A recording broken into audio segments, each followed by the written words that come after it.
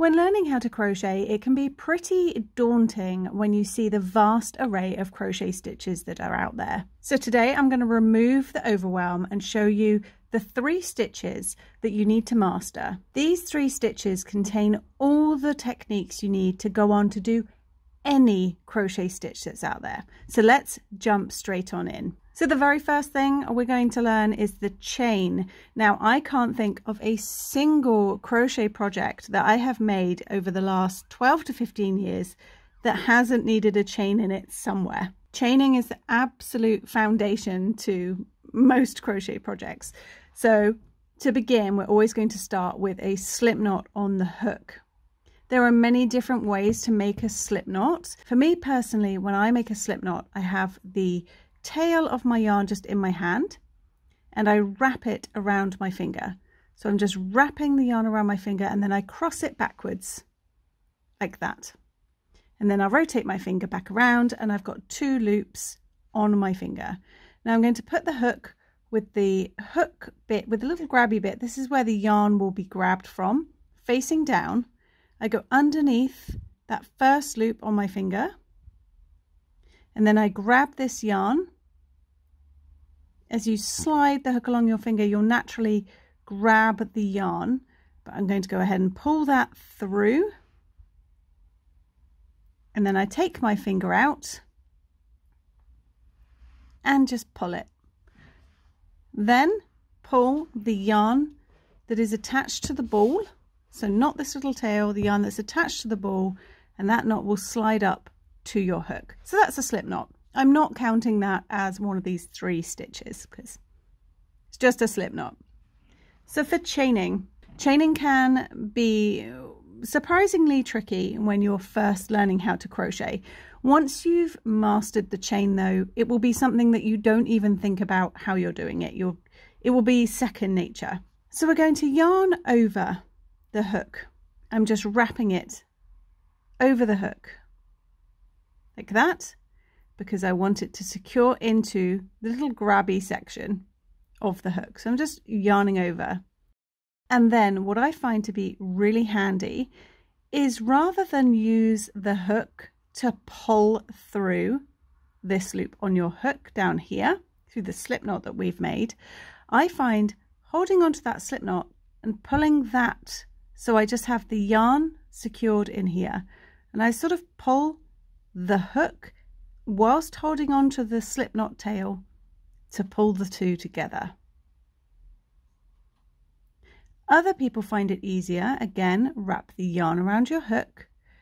To lift with your finger, which is totally fine, you can lift this loop on your hook physically over to chain. You do what works for you.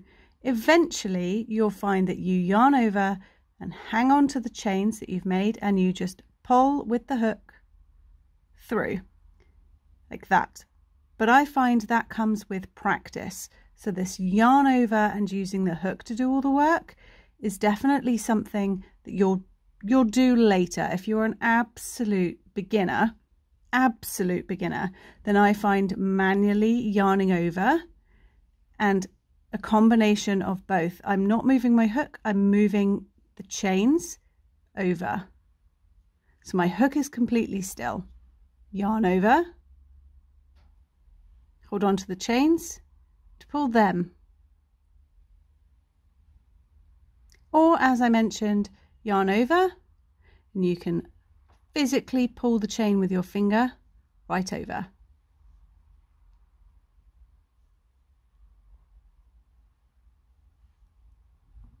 Eventually, you'll yarn over and use the hook to pull that through. But this is chaining. So yarn over and you're pulling the working yarn through the loop that is on your hook.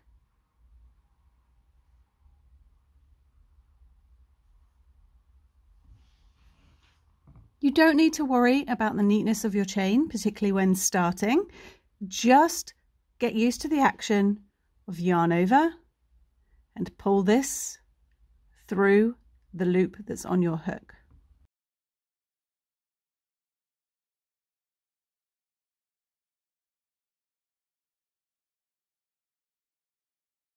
So the second stitch we need to learn is the single crochet.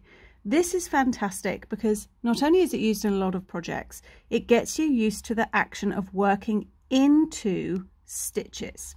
So now we've just chained and you're just forming chains that just hang in the air. This time we're going to be working into the chain and then completing a row and then I will show you how to work into a stitch on the second row. Now, whenever you're crocheting, this loop on your hook does not count as a stitch. You only count the stitches that you form afterwards. So with the chains, it's just these chains that are hanging down. It's not the loop on your hook.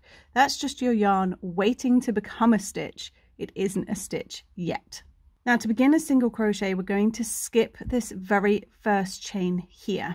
Now the reason for that is you need enough height. The single crochet is quite a short stitch and by skipping that little chain there, it means that it's all up in the correct height. So we're going to work into the second chain. So ignore that first one into the second chain, into whatever bit of the chain you find easiest. I'm just going to work into this top loop here, but it really doesn't matter. The first step is to put your hook and insert it into the chain. Pop your hook into that chain. Then we're going to yarn over and just like with chaining, you're going to pull this yarn through that first loop. So you'll have two loops on your hook. This first one here, the one closest to your working yarn, is the loop of the chain itself. And we're just like when you're chaining, we're just going to pull it through. So pull it through to the front. So you have brought your yarn from the back. This is the yarn that's attached to the ball from the back to the front. And you will have two loops on your hook. Now to complete your single crochet stitch, you're going to yarn over again. So again, just yarn over.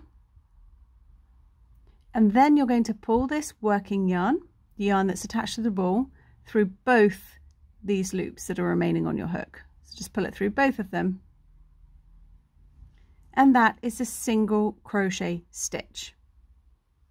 So into the very next chain, if you're not sure where the next chain is, if you pull the stitch you've just made, you'll identify that chain. So you can see we just worked into that one. So you can move over to the next one. So move to the next gap here. Just pop your hook in. So insert it from front to back. Yarn over. Your yarn will already be at the back waiting for you. So just yarn over and we're going to pull it through the chain. Just through that very first loop, which is the chain. Pull it through. You'll have two loops on your hook and then to complete the stitch, I'm going to yarn over again and pull through both those loops. That creates your second single crochet stitch. So we're going to work into every chain all the way along your little sample piece, however many that is.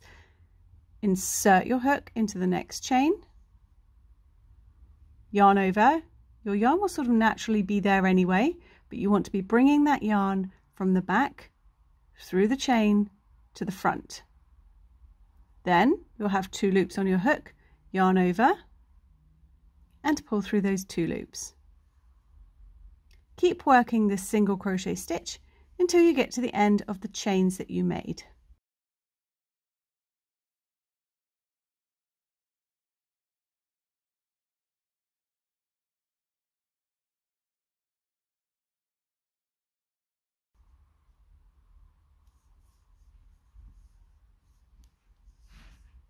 So once you have run out of chains to work into, you should have a little row of single crochet stitches. So to move up a row, at the start of a single crochet row, you will chain one. Now that chain does not count as anything, it's just to get your hook to the same height that your stitches will be. And then we're going to turn our work, so just flip your work like the page of a book and then we're going to work another row of single crochet stitches. Only this time we're going to be working into the top of the single crochets from the row below. So you've already worked into the chain.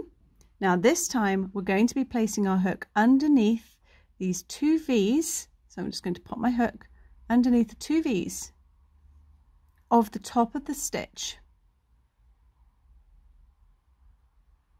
So instead of one loop that you would have had from working into the chain, you've now got two loops plus the loop on your hook. So we have three in total. Now nothing changes other than where we're putting the hook. So just as you did in the last row, again, yarn over, your yarn will naturally sort of be hanging there waiting for you. And we're going to bring this working yarn through these two loops, often referred to as V's. So we're going to come through the V of the single crochet stitch. So come through the first two. So you're just bringing your yarn from the back to the front. You'll have two loops on your hook and just as before, yarn over to pull through both those loops to complete your single crochet stitch. Now we're going to work this all the way along. If you have your work facing you, you'll see the little gap where you're going to be putting your hook. And if you rotate it around, you'll see it goes underneath this V of the stitch from the row below. So work your stitches under the V's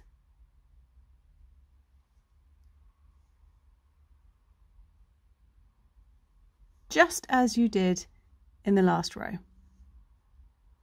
So we're going to work our single crochet stitches all the way to the end.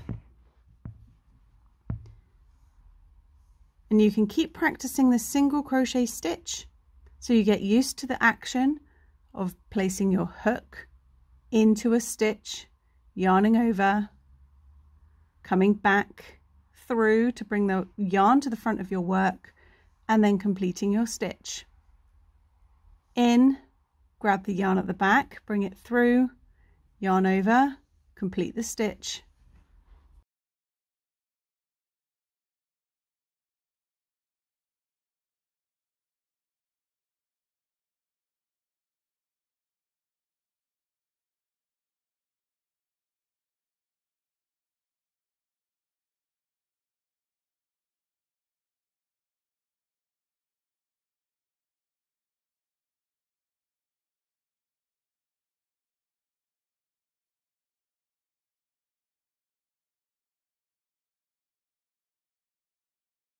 Now the third and final stitch that if you can get this one down, you can literally do any other crochet stitch because they're all just combinations of the same actions.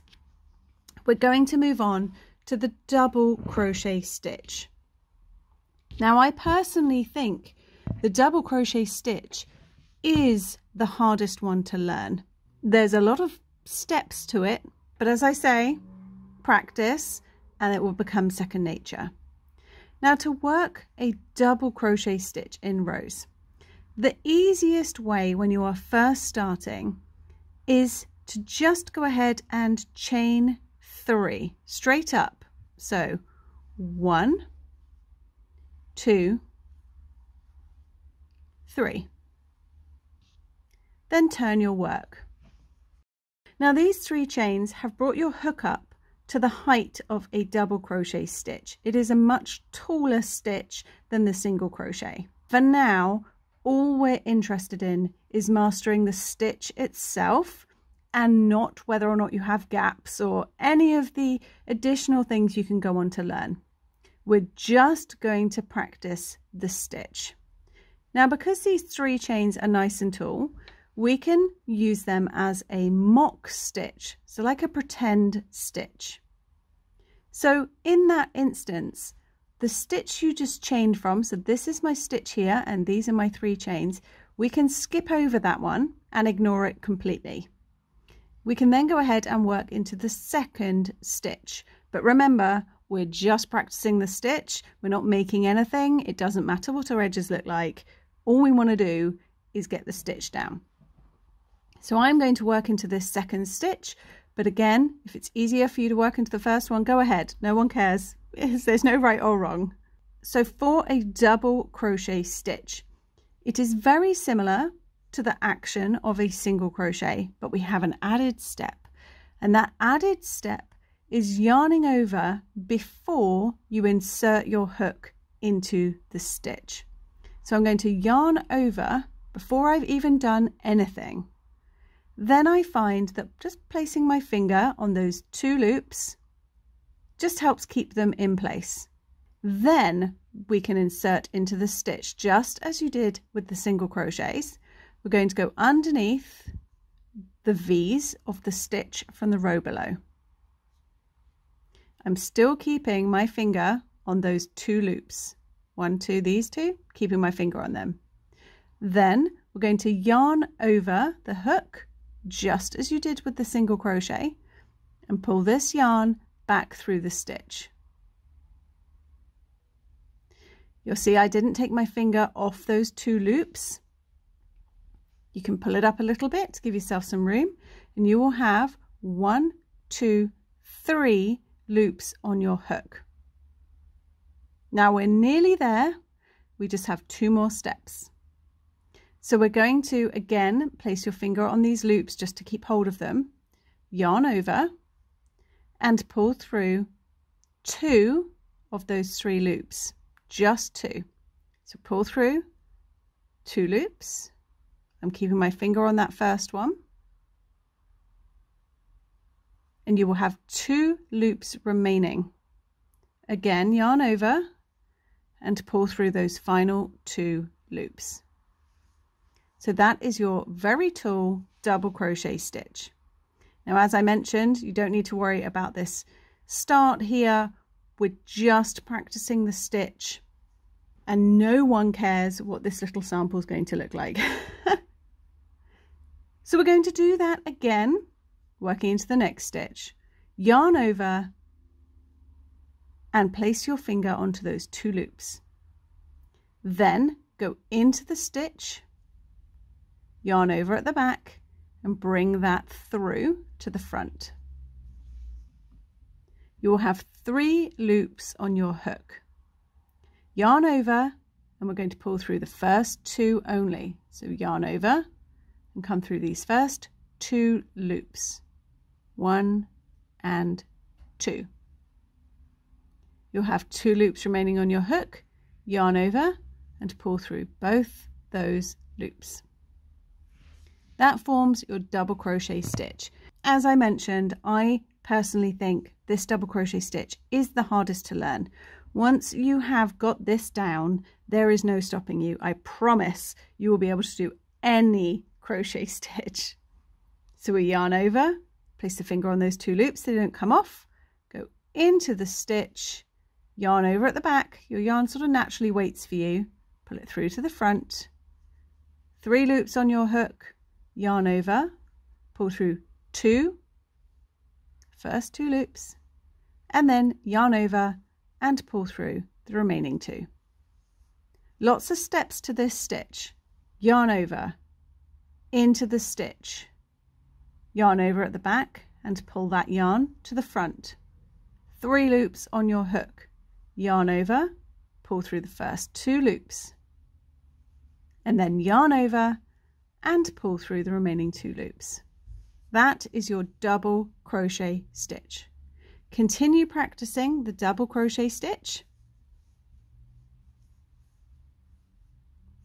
and eventually with lots of practice this will become second nature and you won't need to worry about it.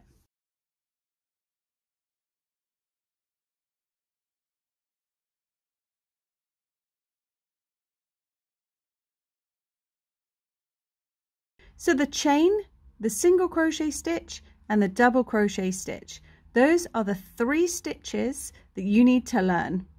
Once you can crochet these three stitches, there will be no stopping you. You will be able to crochet any stitch. They are all just combinations of what we have learnt in these three stitches. So enjoy your crochet journey and I hope it is a craft that you stick with.